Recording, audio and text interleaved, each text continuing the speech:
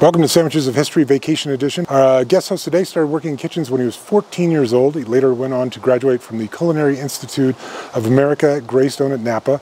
He's worked in world famous restaurants like the French Laundry, uh, the Vail Cascade Hotel, and Olives, a Todd English restaurant. In 2002, he started a cake baking business out of his house, later moving to an independent location. And in 2006, both he and his business, Charm City Cakes, were tapped to star in Ace of Cakes on the Food Network.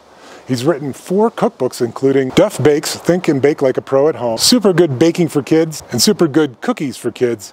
Please welcome the one and only Duff Goldman. Oh, hi there. Welcome to Sandwiches of History. I'm Chef Duff. Barry was kind enough to allow me to uh, guest present on Sandwiches of History, which I'm very excited about. This is absolutely one of my favorite accounts on Instagram. You probably recognize me from uh, television. I eat dessert and I tell people what I think of them. Uh, and I also own a bakery in Baltimore called Charm City Cakes, but I am a lifelong lover and consumer of sandwiches. Today, we are going to be making the aspic jelly sandwich from the up-to-date sandwich book published in 1909. I tell you, I feel like there's just not enough aspic in the world. When you think about aspic, you sort of conjure visions of shag carpet and sunken conversation living rooms. We've turned it into amazing dessert. I feel like savory, salty, meaty jello on a sandwich sounds pretty incredible to me. Let's get into this. Step one, I'm going to soak half a cup of chicken liquor. I'm gonna assume is uh, chicken broth. I looked online, all I got was bottles of booze with uh, chickens on the label. All right, so that's gonna sit and the gelatin will soak up all that liquid and we'll do step two. Okay, step two, add one and a half cups of chicken stock seasoned with a little parsley, celery, some cloves. This is a blade of mace, which I'm gonna use ground and call it a pinch. And then what I'm gonna do is let this heat up because I don't think you're gonna get any of the flavors from any of those aromatics without heating it. Here's a pinch of salt, a little bit of fresh pepper. Now the other thing that the recipe says to do is to strain this out. The other thing about heating this up is you're gonna want to melt the gelatin. You don't wanna boil your stock too much because then it gets cloudy. I'm gonna let this just kind of sit for about 20 minutes and really let these flavors kind of marry. And then we'll make the aspic. Okay, here we go. A little bit of that parsley actually came through, which is nice. Just getting nice and melty. Here I have a quarter sheet pan. You know, I think it's probably gonna be better without the paper.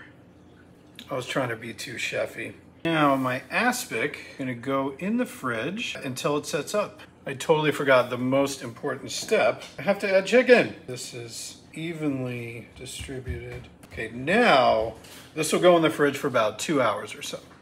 All right, so to assemble this sandwich, it says to take some lightly buttered whole wheat bread, and then this is my favorite part. It says to cut the aspic into fancy shapes. I got a unicorn. I also have a snail, and I have a brontosaurus, because I have a three-year-old start with our Brontosaurus. I mean, come on.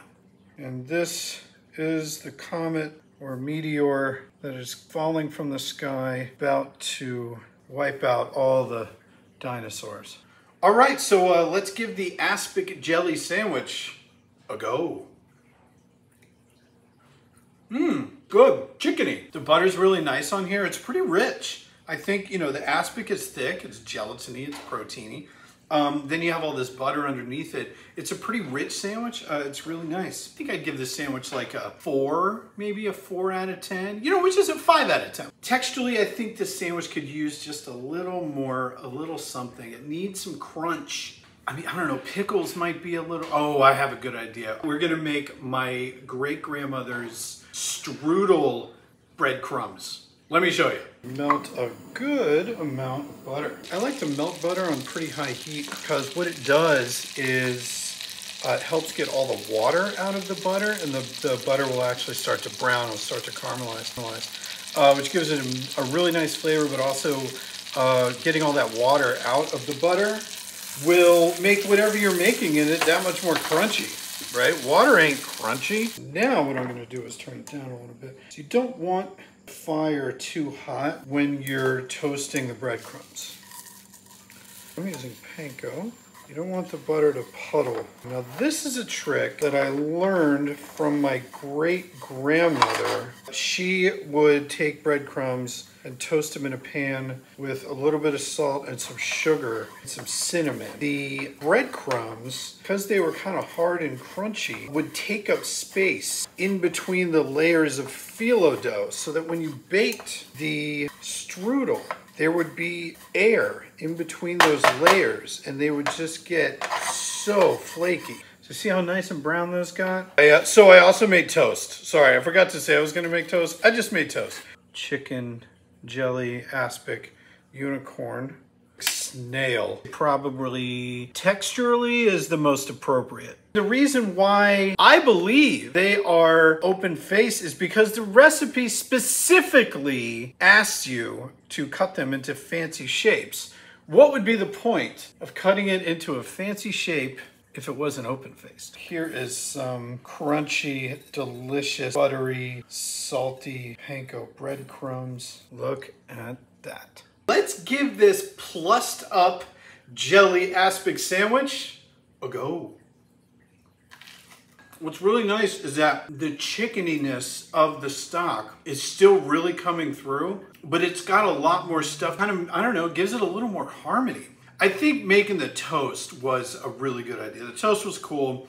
The breadcrumbs are so nice on there. Salty, it gives a lot of texture. It kind of flows around your mouth.